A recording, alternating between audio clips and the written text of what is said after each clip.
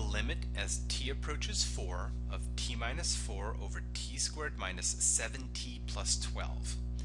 Now, for my first example here, before you try one on your own, I'm going to just plug it in so you can see what happens here because something happens that we have to adjust for. So if we just tried to straight up plug in the number that's closest as we can to 4, namely 4, notice that in the numerator you would get 4 minus 4 and in the bottom you would get in the denominator you would get 4 squared minus 7 times 4 plus 12 right? 4 minus 4 is 0 and that's okay. Zeros in the numerator are okay.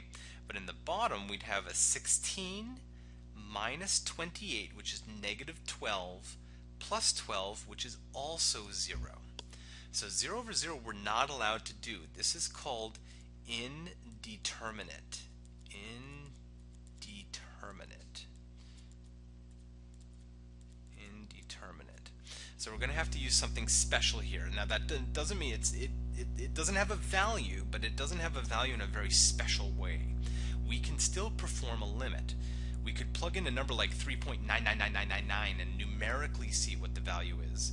But an advantage to uh, to doing this uh, or knowing some algebra is that we can actually use the work without a calculator we can say, well, limit as t approaches 4. I understand that uh, the 4 causes this indeterminate form, this 0 over 0. So what would I get if I simplified this using algebra? t minus 4 on the top.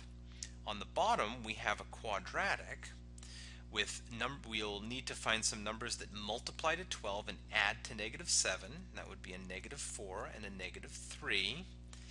Then notice that the t minus 4 cancels out from top to bottom.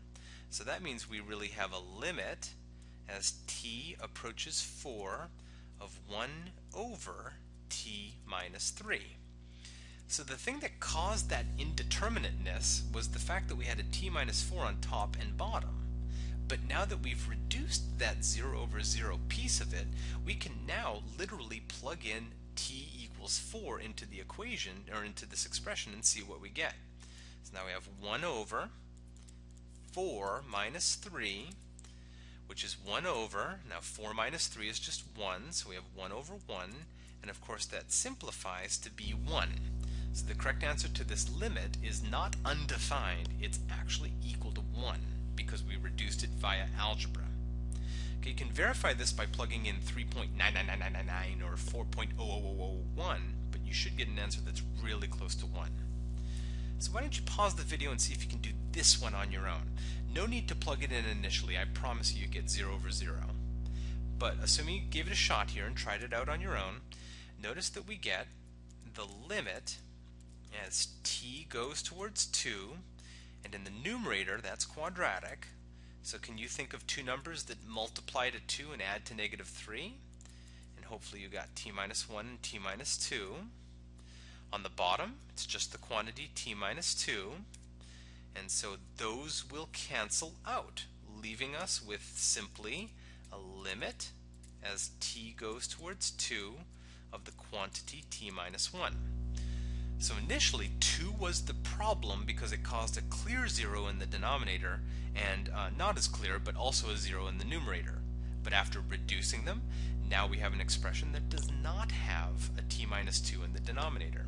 So here we can literally just plug in t for 2, so I get 2 minus 1, and 2 minus 1 is the number 1. That's a coincidence, by the way. These limits do not always come out to be 1, so don't assume that 0 over 0 equals 1.